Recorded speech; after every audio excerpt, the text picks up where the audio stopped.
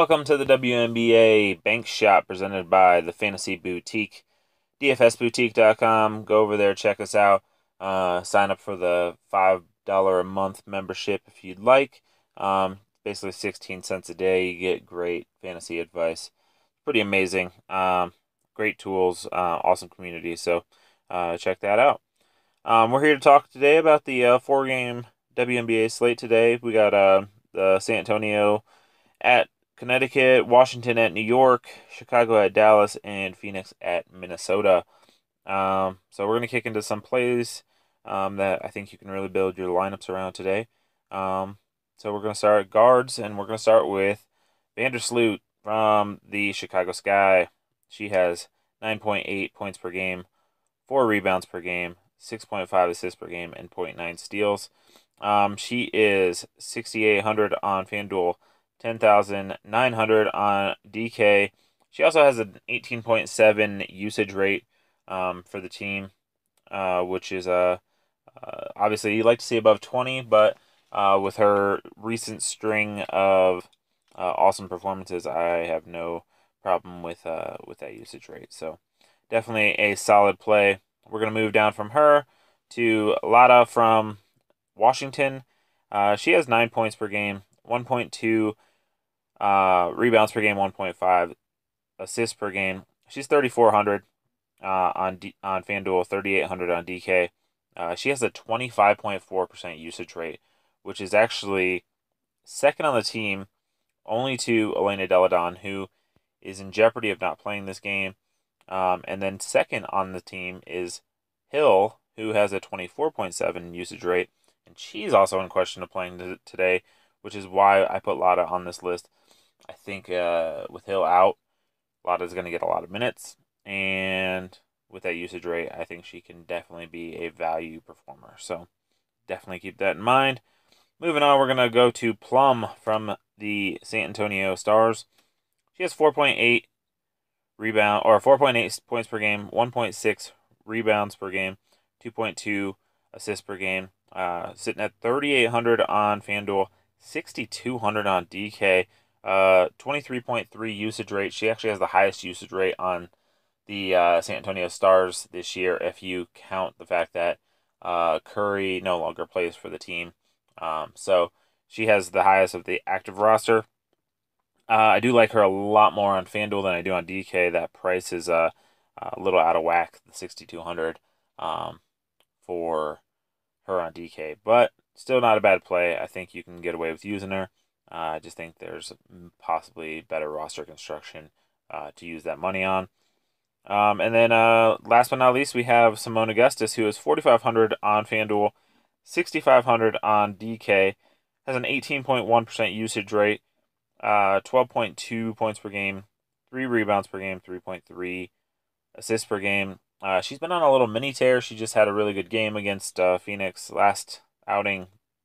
Um, the team have obviously um, has a lot of stars on it, so she's not going to get necessarily the crazy amount of shots, but she does have a, a, a, chance on any given night to have a an elevated number of assists or you know other stats. So definitely like her, especially on the the trend she's moving on recently. So uh, moving on to forwards, we have Alyssa Thomas from Connecticut Suns, and she is seventy seven hundred on FanDuel, 10-5 on DK. She has a 23.6% usage rate, which is tops on the team. Um, she has 13.8 points per game, 6.2 rebounds per game, 5.1 assists per game, and 1.7 steals per game.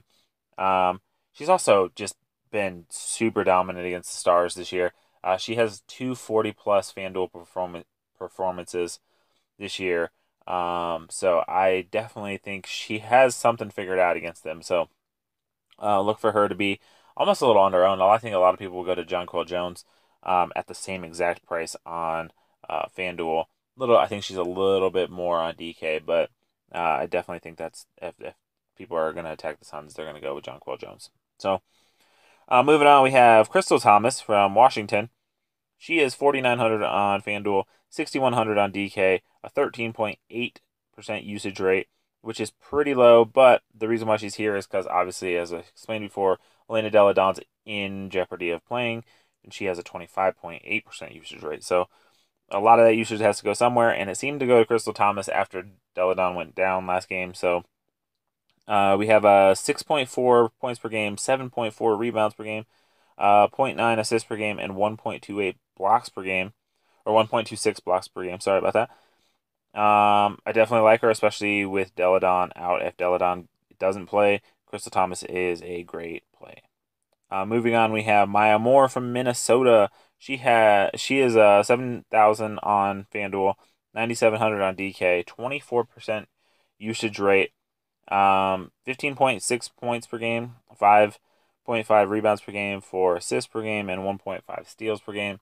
She'll also get a couple blocks, a couple steals, but um, yeah, she's a she's a top top performer in the league. Uh, her price has actually gone down a little bit, um, which is nice. I like to where I like to see it. Uh, she's been on a little bit of a mini hot streak, and um, she seems to be the one that plays Phoenix really well. Um, I know Foles is on the team. She is a good player as well. Uh, she has seemed to struggle a little bit, but with Brittney Griner out, you can never really tell what's going to go on in that game. But I like Moore a little bit more. So uh, I put her on the list. So, and last but not least, we have Meesseman from Washington. Uh, she is 5,100 on FanDuel, 7,800 on DK, an 18.7% usage rate. Uh, she has 9.5 points per game, 5.1 rebounds per game, 2.2 assists per game, 1 block per game, and 1.1 uh, steals per game. So she hits five categories. And on top of that, she's only played a couple games this year. She hasn't played the full allotment. Uh, she did do some uh, EuroLeague stuff, kind of like Vandersloot did earlier as well. Um, and uh, yeah, so she uh, so she hasn't gotten, I guess, a full allotment of minutes um, that she could have had had she not missed those games. So um, we're still kind of seeing her in the early stages, but um, she didn't play New York last time they played. Um, but uh, in her absence, the player who who stepped up took uh, about twelve shots, and that's up from what Meesseman normally would take. Not to mention, again, Elena Delle Donne's out, so there's going to be shots available. So I think she can have some strong upside. So that's it for today, guys. Um, definitely um, like all those plays. Uh, they're great building blocks to uh, start your team. Maybe take two to three to four to five of them, and then uh, kind of see what you got. Pick out the best value that's remaining. It's a good way to good way to get your lineup uh, really, really competitive and uh, have a have good value. So um, definitely go over to dfsboutique.com as well. Check us out. Like I said, we got MLB, PGA, WNBA, NBA, NFL, NASCAR. Today is Sunday. NASCAR, NASCAR, NASCAR. We got a lot going on over there. Um, that's definitely a, a really big strong suit for us. So check that out. Five bucks a month, 16 cents a day. Can't beat it. Um, we'd love to see you sign up. If you don't know how, Find me on Twitter. I'm Patch of Black DFS over there. Um, hit the contact button on the on the website. Whatever you need to do, we'll help you out how we can. Love to see you over in our Slack community, talking with all the other guys and girls, and and uh, and and having a great time and, and building great lineups. So, uh, good luck to guys. Good luck today, guys, and we will see you tomorrow.